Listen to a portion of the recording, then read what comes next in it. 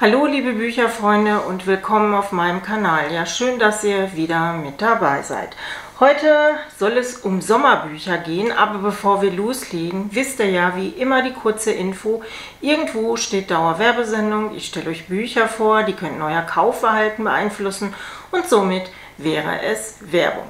Ja, der Sommer steht vor der Tür, auch wenn es wettermäßig noch nicht ganz so toll ist. Wir haben vereinzelt super Tage und die ersten Leute bei mir im Bekanntenkreis, Umkreis, Arbeitskollegen, wie auch immer, fahren schon in den Urlaub. Und jedes Jahr fragt man sich natürlich, was nehme ich eventuell mit in den Urlaub, was für Bücher könnte man lesen, wenn man draußen im Garten auf der Terrasse oder sonst wo liegt.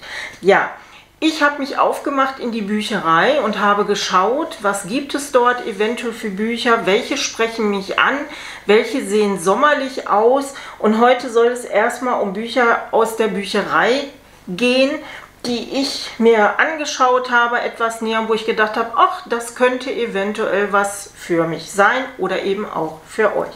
Ja, das erste Buch, was mich angelächelt hat, ist von Thorsten Pilz und heißt Weite Sicht. Das Buch ist im Lübbe Verlag erschienen und ähm, wenn ihr euch das Cover anseht, finde ich, spricht es einen sofort an. Es sieht nach See aus, nach, könnte die Ostsee sein, die Nordsee sein, obwohl, ja, Nordsee ist ein bisschen stürmischer.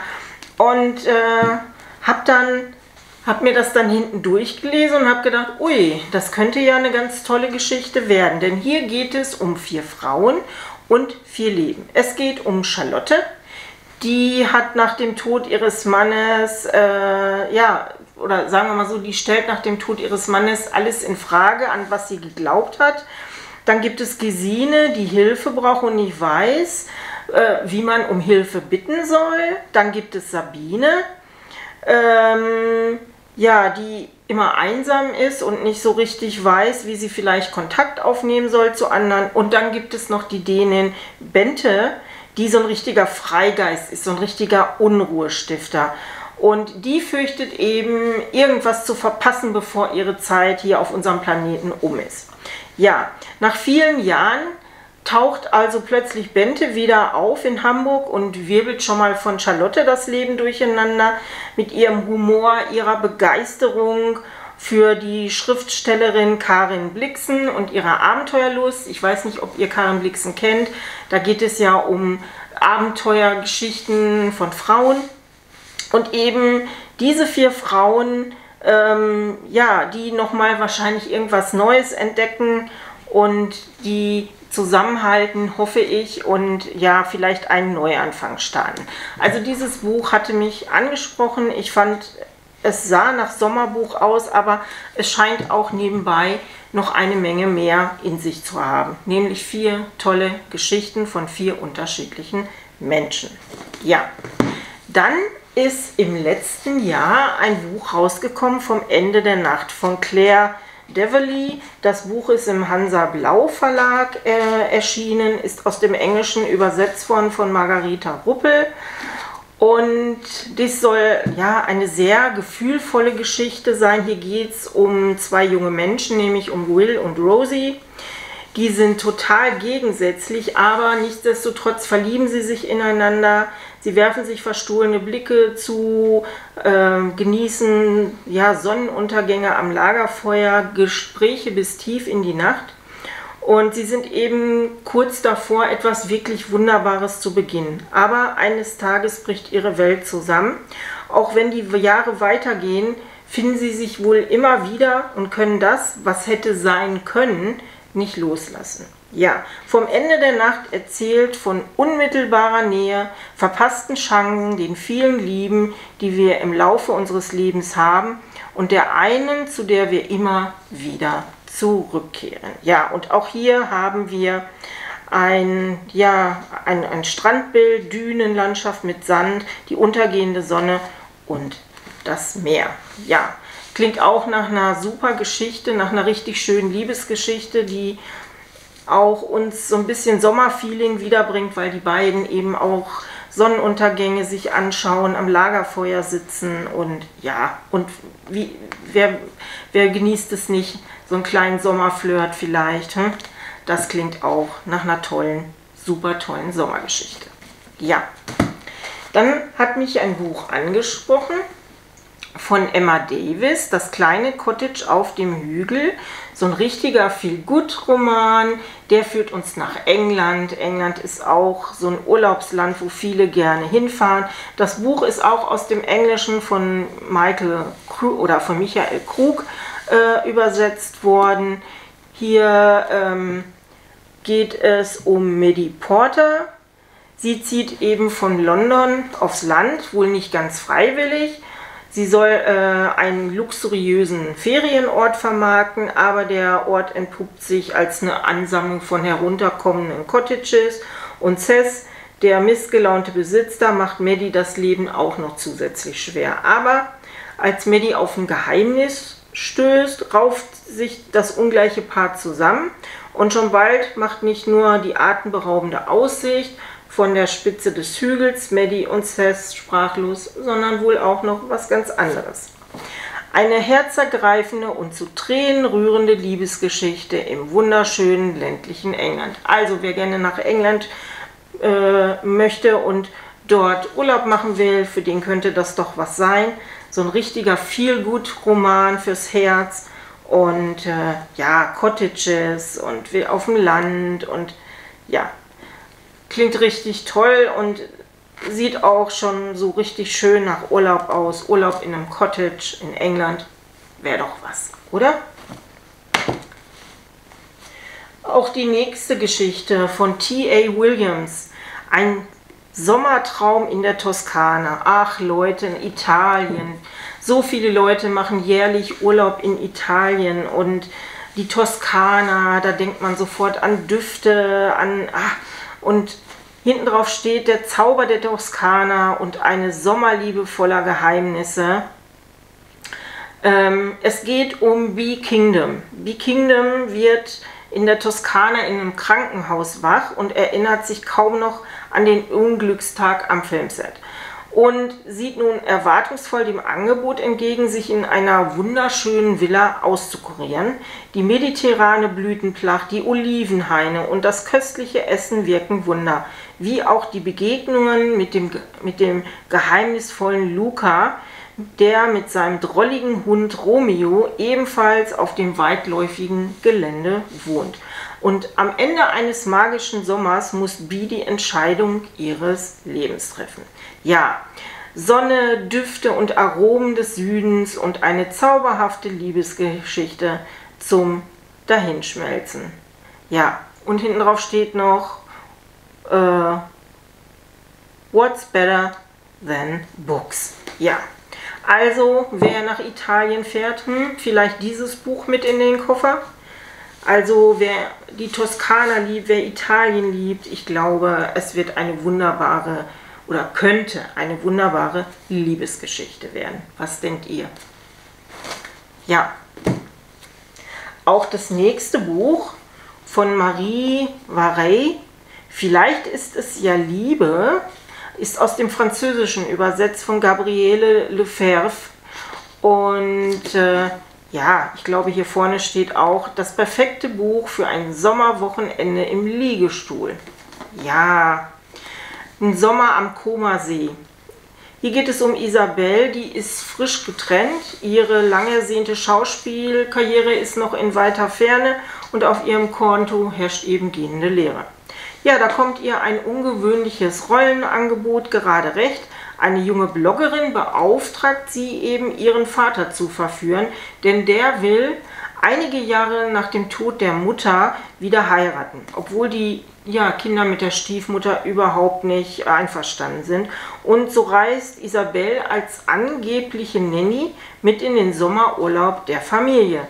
Doch in dem idyllischen Ort am Koma See angekommen, wird nicht nur das Leben der Patchwork-Familie völlig auf den Kopf gestellt, sondern auch ihre eigenen Gefühle. Ja, das klingt nach Turbulenzen. Erstmal in der Patchwork-Familie, da wird bestimmt alles oder einiges drunter und drüber gehen, kann man sich schon so richtig vorstellen. Und eben, ja, Isabel lernt vielleicht dort auch jemanden kennen, der ihre Gefühle durcheinander bricht.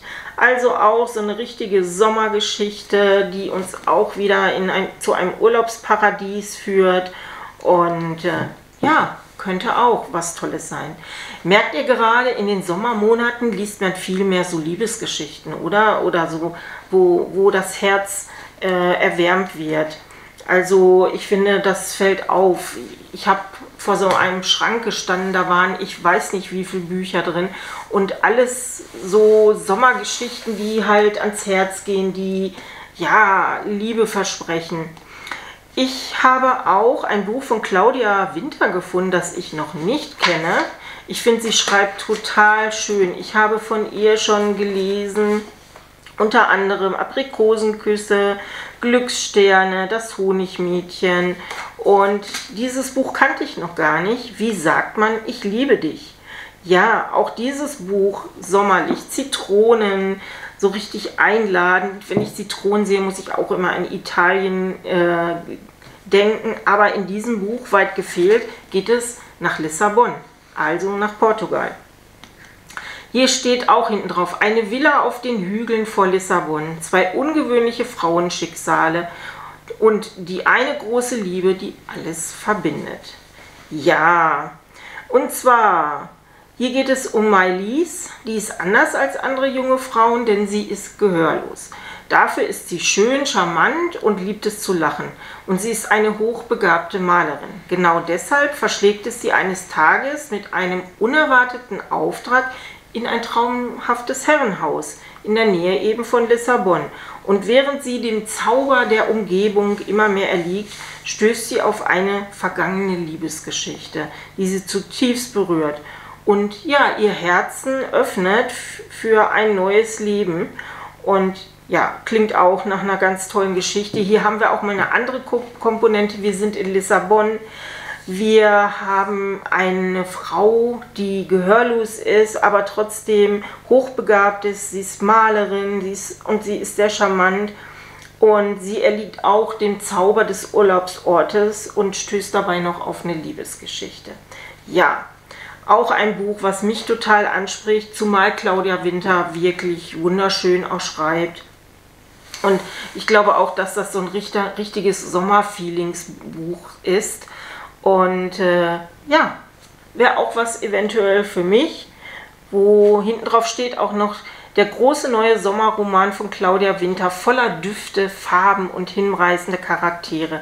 Und sowas finde ich auch immer gut, wenn, wenn, so ein, wenn so ein Urlaubsfeeling wirklich rüberkommt, wenn man plötzlich so diese Düfte spürt, wenn man weiß, oh ja, so stelle ich mir das in Portugal an, vor, dann äh, ja, kann das doch eine richtig tolle Geschichte werden. So, dann habe ich mal was ganz anderes noch gefunden. Und zwar habe ich hier so einen Fantasy-Roman, ist es, glaube ich, von Christian Handel und Andreas Suchanek und heißt Spiegelstadt. Auch dieses Buch ist neu in der Bücherei. Tränen aus Gold und Silber. Ja, und zwar soll das äh, Babylon Berlin Goes Fantasy sein. Also das hat mich total interessiert und angesprochen, weil ich glaube, gerade wenn man so in Urlaubsstimmung ist, lässt man sich auch mal auf was anderes ein. Und ich liebe ja Berlin in den 20er Jahren. Ich denke da auch sofort an meine Leo Wechsler-Reihe von Susanne Goga. Äh, ja, hinten drauf steht, die Spiegelstadt, ein magisches Berlin hinter unserer Welt, liegt erstarrt in den glamourösen 1920er Jahren und wird bewohnt von vielgestaltigen Feenwesen. Reisen zwischen den Welten sind streng verboten und nur mit Hilfe magischer goldener Tränen möglich. Auf einer wilden Party in Berlin der Menschenwelt, die ganz im Motto der 20er Jahre steht, begegnet Max dem ebenso attraktiven wie geheimnisvollen Lenjo, und gerät damit mitten hinein in einen blutigen Konflikt um die Herrschaft in der Feenwelt. Verfolgt von gnadenlosen Kreaturen und gefangen in einem Netz aus Intrigen und Machtgier, ahnt keiner von ihnen, dass sie längst zum Spielball einer gefährlichen Macht geworden sind, die die Barriere zwischen den Welten bedroht. Ja, das ist doch mal was ganz anderes. Und hinten drauf haben wir auch ein Bild von den beiden Autoren. Und ja, sehr interessant. Die haben sich vor bereits mehr als zehn Jahren äh, kennengelernt durch ihre Liebe zur Fantastik. Und seit 2018 verbringen sie jährlich mehrere Wochen gemeinsam in der von Andreas gegründeten Schreib-WG. Ja, und das ist ihr erster gemeinsamer Roman. Ja, mal was ganz anderes für den Sommerurlaub, wo man abtauchen kann in andere Welten. Ja.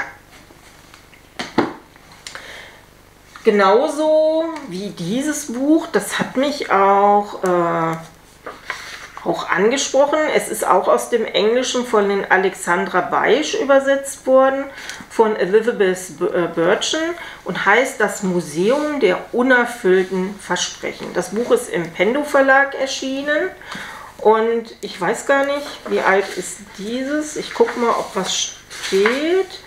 Das Buch ist von 2019. Ja, also auch schon ein paar Jahre alt, aber Hinten drauf hat mich auch dieser Satz äh, angesprochen, eine Perle von einem Buch, elegant geschrieben und wunderschön, das sagt Marian Keyes. Hier geht es um ein besonderes Museum in Paris. Öffne die Türen und die Vergangenheit wird dich finden. Hier geht es eben um dieses außergewöhnliche Museum in Paris, das Museum der unerfüllten Versprechen.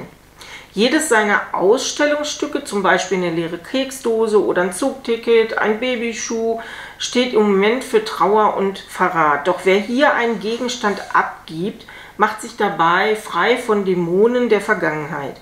Auch Lore, die Besitzerin des Museums, hofft auf diesen befreienden Effekt. Unter den Exponaten sind Zeugnisse ihrer eigenen Jugend. Sie führen ins Prag des Jahres 1985 wo Laura als Au-pair-Mädchen gearbeitet hat. Als sie sich in einen rebellischen jungen Musiker verliebt, hat das schreckliche Konsequenzen. Denn das Leben hinter dem eisernen Vorhang ist kompliziert und Gefahr lauert überall. Ja, das klingt mal nach so einer spannenden Geschichte. Es geht eben um, ähm, ja, auch mal um, was hatten wir gerade gesagt, Prag also die Tschechoslowakei, vielleicht so ein bisschen Spionage, wer weiß das. Auf jeden Fall ist das mal was ganz anderes, denn auch an heißen Tagen, finde ich, im Sommerurlaub liest man auch gerne was Spannendes. Und deswegen habe ich jetzt auch für euch äh, noch hier ein Krimi mitgebracht, nämlich von Hannes Nygord, Das Böse hinterm Deich. Das sind so hinter, hinter Deichkrimis. Ich glaube, die stehen aber alle, sind alle unabhängig. Hier geht es ähm, nach Nordfriesland. Gibt ja auch viele Leute, die im deutschen Norden Urlaub machen. Hier geht es auch um einen Serienmörder. Der hat in einer idyllischen Gegend eben seine ganz persönliche Spielwiese auserkoren. Scheinbar ohne jedes System wählt er eben seine Opfer aus. Ihre Fotos werden auf immer die gleiche Art und Weise äh, kommentarlos an Kirchentüren genagelt. Kein Motiv, kein Bekennerschreiben, keine Verbindung der Toten, auch untereinander. Und die Husumer Kripo um Kultkommissar Große Jäger jagt äh, ein Phantom. Ja, und wird eben immer tiefer in einen richtigen Psychokrieg hineingezogen. Bedrohlich, grausam, gnadenlos. Thriller-Spannung von der Nordseekulisse. Ja, und das Ganze im Emons Verlag. Ich glaube, der Emons Verlag hat viele äh, solcher Krimi-Geschichten und dieses Bild weckt auch Urlaubsstimmung in mir. Und wenn es dann noch spannend und äh, heiß wird, ist das doch auch genau das Richtige für einen Strandtag, wo man dann ja unter der heißen Sonne auch heiße, spannende Geschichten äh, entdecken kann. Ja. So, und dann habe ich noch mal einen ganz anderen Krimi. Äh, das ist ein, der Auftakt einer Reihe, nämlich Inspektor Bieslars erster Fall. Diese Geschichte führt uns nach Südafrika. Auch ein Setting, in das man sehr selten eintaucht und liest. Ähm, hier geht es um Albertus Bressler, Viele nennen ihn der, den großen Mann aus der Stadt, weil dieser Inspektor nämlich zwei Meter auch groß ist. Und der hat sich erst vor kurzem in den Norden Südafrikas versetzen lassen, in die staubtrockene Provinz Nordkap. Und nach über 20 Jahren bei der Mordkommission in Johannesburg wünscht sich Bessler nichts mehr als einen ruhigen Posten auf dem Land. Doch ein furchtbares Verbrechen bringt ihn auch hier um den Schlaf. Auf einer Farm werden eine junge Frau und ihr Kind ermordet, ihre Leichen zudem seltsam drapiert. Und beim Anblick des grausamen Tatorts ahnt der Inspektor, dass dieser Fall ihn eben bis an seine Grenzen treiben wird. Ja, zum Abschluss eben noch was ganz Spannendes. Ja, klingt auch mega interessant glaube, dieses Buch wurde auch, ich guck mal,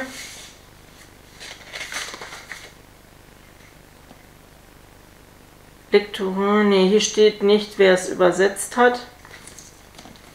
Aber ja, auch mega spannend.